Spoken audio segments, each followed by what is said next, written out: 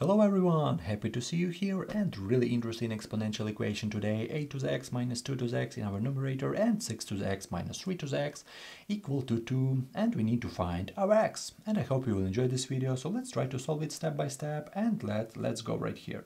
So first of all, we have all different bases, 8, 2, 6, 3 and equal to 2 right here. So it's really good to create the same base, yeah?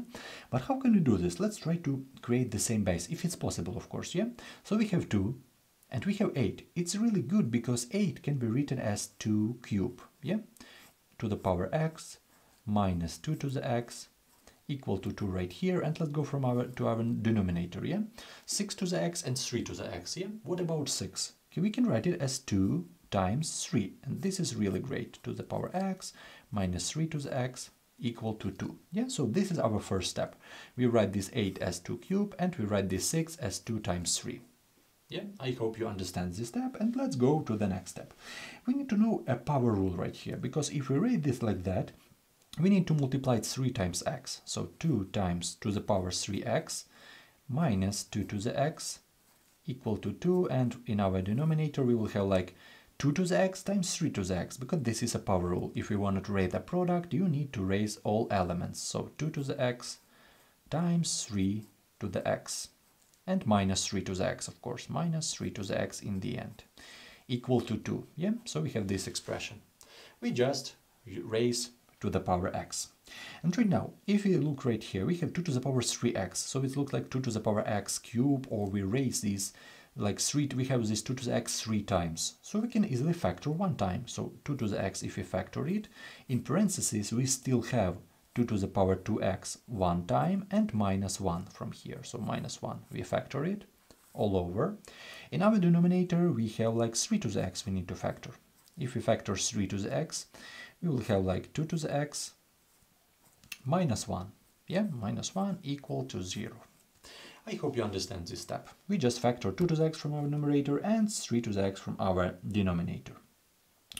Okay, and right now, really interesting expression in our numerator, because I have 2 to the power 2x, and we can write it as 2 to the power x, so this is the same, but we can write this expression as 2 to the power x square, and moreover, 1 can be written as minus 1 square. And why I write it? Because right here we will have a difference of two squares, and this is really interesting and, and important formula, 3 to, 3 to the x and in parentheses 2 to the x minus 1 in our denominator, yeah? So in our numerator, I write this formula, 2 to the x square minus 1 square. So this is like a square minus b square. This is our identity formula. So we can easily write it, this formula right here, so a square minus b square, which is equal to, we will have like a plus b times a minus b. So we can easily apply this formula in our numerator, yeah? So we will have like 2 to the x 2 to the x and then in parentheses we have like 2 to the x plus 1 2 to the x plus 1 times 2 to the x minus 1 applying this formula yeah and we dividing it by 3 to the x times 2 to the x minus 1 yeah the same from our denominator and really interesting moment because 2 to the x minus 1 and 2 to the x minus 1 we can easily cancel and this is really great so what expression we still have right now? We need to mention that 2 to the x minus 1 is not equal to 0. Because we cancelled it, we have it in our denominator, so 2 to the x is not equal to 0. Then 2 to the x is not equal to 1 and x is not equal to 0. This is the first step we need to mention when we cancel this expression. And moreover, from here, if x equal to 0, we have 1 minus 1, so we can easily start with this. But we find this x not equal to 0 in our this case. Okay, what we what expression we still have right now? We still have like 2 to the x. After this cancelling, we have 2 to the x in parentheses 2 to the x plus 1. We still have with with the plus sign and all over all over 3 to the x. Yeah, all over 3 to the x. Okay, I hope you understand this step equal to 2.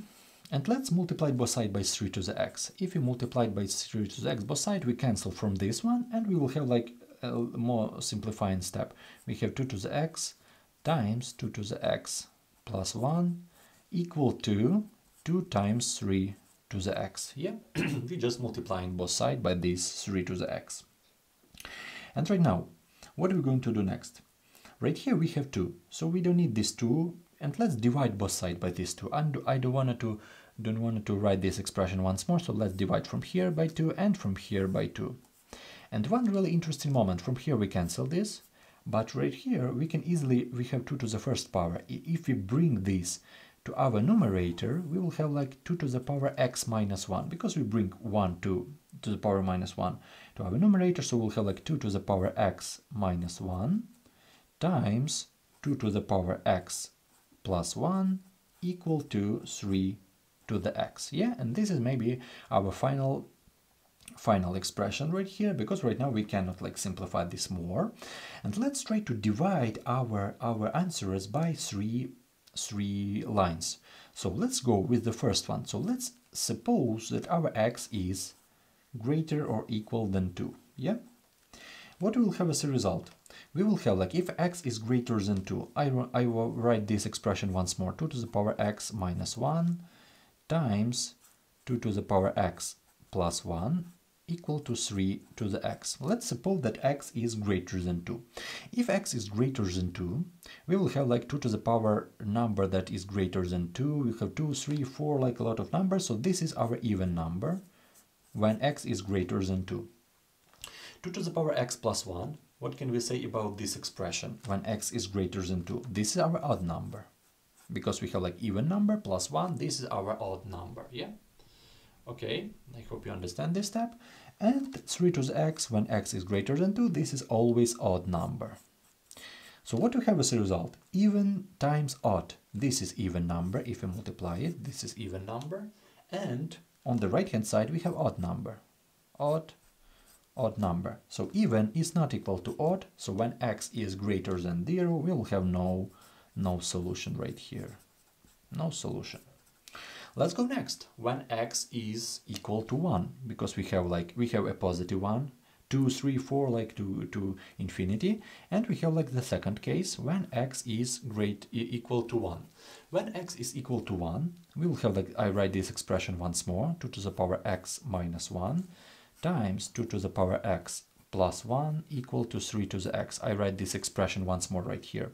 So if you plug in 1, 2 to the power 1 minus 1, in parentheses 2 to the power 1 plus 1 equal to 3 to the power 1, yeah? So we will have like 2 to the 0, 2 to the 0 times 3 equal to 3. So 1 times 3 equal to 3, so this is absolutely correct. So our 1 is the first solution to this problem. But let's check the next one. So we know that x is not equal to 0, x equal to 1, and we check when x is greater or equal than 2. Yeah, so we have, we check 0, we check 1, we check uh, 2 and uh, 3, 4, 5, like to infinity, to plus infinity, and we need to solve when x is negative 1, because if, if x is negative 1 equal to minus n, for example, n is positive, we can write it in this way, because n is negative 1, n is positive, we will have like the next one. Let's simplify this a little bit. Let's write it in another way. Because we, if we have this expression 2 to the power x minus 1 times 2 to the power x plus 1 equal to 3 to the x. Yeah, if you plug in this minus n right here, so we will have like 2 to the power minus n minus 1 times 2 to the power minus n plus 1 equal to 3 to the power minus n. We just plug in minus n right here. And let's simplify this. Let's uh, bring minus behind this parenthesis. We'll have like 2 to the power minus n plus 1 the, in the first step. In the second step, let's bring this 2 to the power minus n to our denominator. So 1 to the power 2 to the power n plus 1 and let's do the same thing let's bring this from our numerator to our denominator so 1 over 3 to the power n yeah so we have this expression. Let's go next. Let's bring this with minus sign to our denominator. So 1 over 2 to the power n plus 1. Right here, let's add it. So 2 to the power n is a common denominator, so 2 to the power n. So we will have like 2 to the power n plus 1 in our numerator equal to 1 over 3 to the power n. So right here we add it, right here we bring it to our denominator. So as a result, if we use cross multiplying, we will have like the next expression 3 to the power n times 2 to the power n plus 1 equal to 2 to the power n plus 1. Yeah, so when n is positive 1, when n is greater or equal than 1, we will have like, when n is greater than 1, we will have like the 3 to the n is odd number. Yeah, this is, when n is greater than 1, this is odd number. Yeah, 2 to the power n plus 1, this is even number because 2 to the doesn't matter what power, this even number, even number. So we will have like odd number times odd number is even number, which is absolutely incorrect because odd times odd number, we don't know information about this answer. This is looks like odd number, yeah? And this is case uh, is not work for us, so we reject when x is negative 1. So this is not good for us. So I want to write a line real quick right here. Because we check when n is negative 1, we have this 0. So we reject this 0 right here. We check 1, which is good for us. We check 2 and greater than 2 right here. So we reject 2 and greater than 2. We reject all these roots. And we check all negative ones. So we reject all negative roots. So we still have only one integer root right here, which is absolutely good for us and absolutely correct. So our answer x is equal to 1. This is our solution to this to this problem. If you still have any question, write your question in the comments. Thank you for your support, for your likes, I really appreciate it. See you in the next videos. Write a question in comment about this question and thank you for watching.